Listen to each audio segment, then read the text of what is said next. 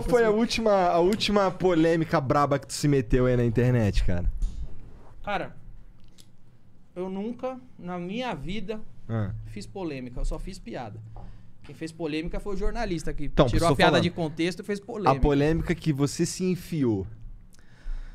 Cara, Tu depende. comentou o lance do Márcio? Melhem? sei Comentei, comentei bastante. Mas o Márcio Melli eu tô há, há anos falando isso aí, tô há mais de um ano. Eles foram os caras que jogaram pedra em você pra caralho no passado, É, né? Quando eles muito. puderam. Muito. Quando eu fui condenado à prisão, ele é um dos caras que aparece em público falando que. Ah, é? É. Que piada não anula o código penal. Tem que ir preso mesmo. Caralho, legal. Legal demais. É bom, se bem que agora ele tá fudido não foi porque ele fez piada, né? Então tudo bem. Oi? Ele não fez piada. Ô, Não- ele não tá obrigado. fudido porque ele falou alguma coisa. Ele tá fudido porque ele most- tipo, mostrou o pau pra alguém e coçou o pau em alguém. E porque ficaram um ano dedurando, dedurando, insistindo, até que saiu a matéria na Piauí. Isso é uma matéria enorme, né? Só aí que virou verdade de fato. Mas tá mais de ano que aquela brisa tá falando. É. Bom, supostamente, tá? Ainda tá em, Tamo, na su- julgamento. tamo no supostamente ainda? Como que é, advogadas? E como que tá o caso? É, aí como é que tá o caso, doutora? Fala aqui. Vocês analisaram o caso de assédio do Melly ou, ou não? Esse caso ficou com a doutora Não, já Vanessa. tá, já tá em análise, já. Já tá em análise. Elas são Ficou intelectuais, sob elas não vão falar a responsabilidade dela e a gente não delas. pode Tá expor. Tô sabendo que vocês querem. É... É, tirar. Vocês querem tirar É. alguma coisa. É porque a gente precisa de um corte que vai dar muito view, entendeu? Então. Quantas pessoas estão assistindo aí, Jean? Fala pra nós. Uau. Caralho. Eu acho que tá na hora da gente ler os beats. Não, não tá na hora da gente ler os Eu beats, acho nem que tá, caralho. cara. Por que que Ô, tá? se ele tá falando que tá, acredita, ne- acredita no Igor que tá na hora, velho. Acredita no Igor, velho. Tá na hora de ler.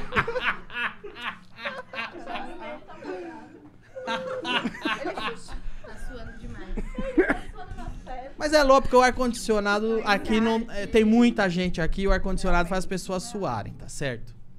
Tá certo? Fala, Monark. Seu nome. Você tá tenso também, Jean? Não, eu tô, tô Doutora, o Jean tá tenso, doutora. Não, tô tranquilão aqui. O Jean é ali. é, O Jean, o Jean tá ali, ele tá tenso, doutora. Por favor, doutora, por favor. Por favor, doutora, por favor. Por favor, doutora, o Jean tá tenso, exatamente. O Jean acho que ele não tá muito bem. É, O Jean tá tensão. É verdade, né? Caralho, ele tá ficando vermelhaço.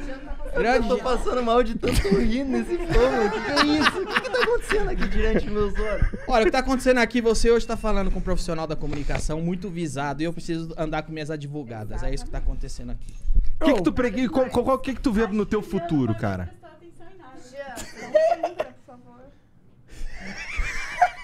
Engraçado, engraçado, pô, tipo, advogadas pra lidar com homens compromissados. É engraçada a reação dos caras, né, mano? Aqueles dois ali que estão solteiros, pelo amor de Deus. Trabalho normal, eu só vim aqui. Tu tem 180 mil pessoas vendo essa palhaçada. Puta que pariu. Palhaçada. do- palhaçada. Palhaçada? Ah, não, não, não, não. não, não, não, não, Falta de respeito. Desculpa, Danilo veio até desculpa, aqui. Eu tô de desculpa. terno, doutora. Não, não. Eu tô de terno. Não, que absurdo. Você praticamente Olha, pegou meu não sei se na advocacia, trabalho, né? no, lixo agora falando isso. Palhaçada. Somos seríssimas. Grupo altamente competente, qualificado. Eu Você pe- vem falar aqui Eu peço perdão, palhaçada? eu peço perdão. Me- E vocês perdoaram todas cinco vezes. Vocês são advogadas Você tá muito. achando que a gente perdoou, né? Elas estão anotando, meu amigo. Você vai ver a hora que o processo chegar aqui, velho. Vai ver o Você vai ver. Vocês já tomaram o processo? Cara, a Graças gente a Deus, não. não. Não dá, não? Legal. No máximo a gente tomou uma, uma notificação do Conar. É, do Conar. Conar encheu o saco uma, É. uma época aí. Ah, o Conar encheu o saco? Uma É. época Mas vocês só colocam água na, água na caneca? Vocês- essas garrafas são tudo cenográficas? tudo Só tem cenográfico. água Inclusive, a gente coloca. é, aqui? Nem tem gelo, imagina. É cenográfico. tudo cenográfico. Exato, exato. É, tudo é ilustrativo aqui. Ah, mas acontece, né? Você deve saber, quando você tá avisado, as pessoas te processam, Por tentam é colocar você na importante andar com cadeia. advogados, velho. Por isso que é Oh, importante. é, a gente, a gente tá com. A gente, pior que a gente tá correndo atrás disso mesmo. Na Olha, verdade, eu vou indicar minhas, meu escritório, o escritório que me atende, claro, a claro. Charles Angels Advocacia. Tá. Ótimo. Eu já ouvi falar muito, Tá bem. muito bem desse escritório. No futuro, cara, pra onde que tu vai? Tu pretende ficar na TV mesmo? Quer se tornar o próximo Silvio Santos alguns uns avios, Eu não, tenho, aviãozinhos? eu não tenho dinheiro pra ser o próximo Silvio Santos, velho. Ainda. Eu não tenho dinheiro pra ser Ainda. o próximo Silvio Vai que o Santos. Silvio, o Silvio Santos foi da hora com você? Muito gente boa. Muito gente boa. Sou, Eu, sou eu mu- conheci ele uma vez. O aniversário dele hoje, né? aniversário É dele aniversário hoje. dele hoje, caralho. 90 anos. Olha lá que poético. De verdade, sou muito grato por trabalhar no. Não tô mentindo, não, cara. Eu- se, se eu não fosse grato, eu nem estaria falando o assunto. Eu sou, acredito. Sou muito feliz de trabalhar no SBT, é muito legal. O ambiente lá é muito familiar, é muito legal. E eu acho demais. Eu gosto da liberdade que eles te dão. Muita. Eu sinto que eles te dão liberdade. De verdade. Eu acho que eu tenho mais liberdade no SBT do que muita gente na própria internet. Com certeza. No, no, no- Com certeza. Eu falo coisas piores do que vocês falaram no Twitch. E eu tô no ar ainda, bicho. É. Agora eu não sei se é liberdade ou se é porque no meu horário o Silvio Santos tá dormindo.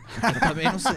Pode ser, pode ser isso. Pô, o Silvio Santos fala umas paradas aí que de vez em quando cancelam ele também, né? Ou entram numa de cancelar ele e tal. Ah, cara, é lógico, velho. É, qual- Depende do lado que você tá, vão te cancelar, velho. É, se sempre cancelar o assim. Silvio Santos é tipo como, né? É. Como você vai cancelar o É, Silvio Santos? Muito difícil. É imune. Eu acho, que, eu acho que eu também tô ficando imune. Tá, quando, total. Quando você pega o dedo do meio e levanta, quando o pessoal fala, tô te cancelando, você fala, cancela isso, você adquire o primeiro passo pra imunidade. Sim. Pra como é que você vai cancelar alguém que não dá a mínima pro seu cancelamento? Você não tá entendendo. Como é que você quer tornar alguém refém de uma pessoa que nem quer te agradar? Mas aí que entra. É a base que tu construiu. Porque se eu Pois é. sou um youtuber teen... Agora, se tu é do que é- outro lado que e é vacila, super fudeu. bonzinho... E todas essas marcas que investem em você, elas estão investindo no super bonzinho, tá ligado? Aí você está fudido. Eu Se acho- alguém quiser te cancelar, já era. Eu acho que esse podcast vai. é- é em pouquíssimo tempo, cara, vocês alcançaram um, um lugar que todo mundo respeita, porque esse podcast tem personalidade. Eu acho que eu, e eu também tenho muitos outros colegas na comédia, que estão adquirindo imunidade contra o cancelamento, contra a patrulha, porque tem personalidade. Eu acho que a personalidade é imbatível. Nada vai vencer a personalidade. Porque tem